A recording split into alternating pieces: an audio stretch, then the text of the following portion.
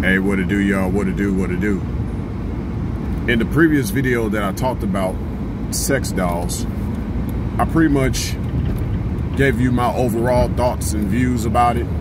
If you have not seen that video, just wait until the end of this video and you'll see that previous video pop up on the screen. Just click on it and check it out. Now, today I just want to talk about kind of how things could end up because of these sex dolls. Well, with that said, as I've said before, there's really two types. You know, one is a sex doll and one is a sex robot. Most guys who got sex dolls now are just waiting for the sex robots to show up. So that's part of the future. The sex robots versus the sex doll. You know, guys are waiting guys are waiting for that uh sex robot. That's what they're waiting on. Now, the issue really is I had someone leave a comment and or at least they had this discussion with me, if you will. They they left a comment, but then decided to have a discussion about it. Um, in a I don't know, it was a video that I had checked out, and there was a YouTuber talking about sex dolls, and you know, more or less, the comment uh, it was stemmed across this conversation about, you know. Um, with men wanting sex dolls, that's the end of this population, you know, because it takes men to create children, you know.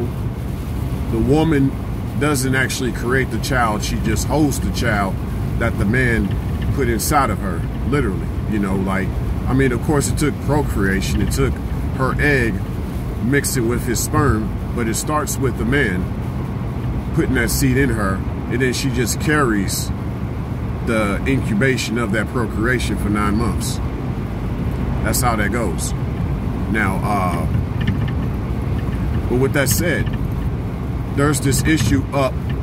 There's there's this upcoming issue about things becoming more androgynous. So now they're actually able to make artificial wombs to be put inside of men that cross over to be women, if you will. You know, they go through the surgery to become surgically like a woman, if you will. So that's what's going on. Um, I won't say it's really the end of the population. It's more or less the change of a population. One can see it as the end of our population as we know it. You know, things are going to continue to get a little bit weird in these times to come, if you will. But I guess it just depends on how some things go, once again. Um, but nevertheless, this brings back the issue of this idea of a sex doll or even a sex robot.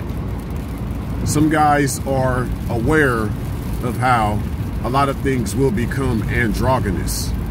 And some guys just want to avoid that because they do want to have a sense of feeling something naturally feminine.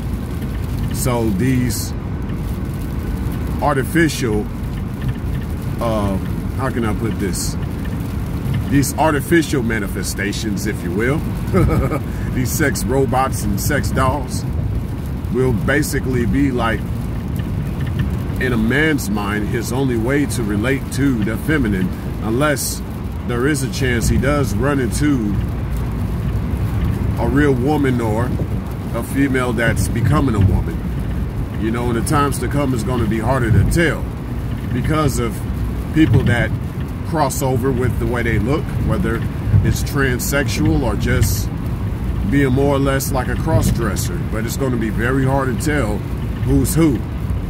But things will become more androgynous too, which that's sort of similar to transsexual or cross-dressing, but androgyny more or less is you could actually be born as two genders upon a lot of genetic manipulation. So I see a lot of that possibly occurring, especially with this idea of an artificial womb. for some, you'll have um,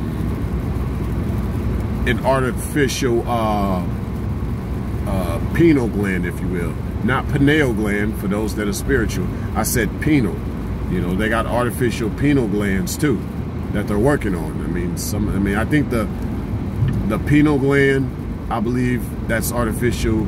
It's in the early stages of development, and uh, artificial womb is in the more advanced station. It's in the more advanced stages of development.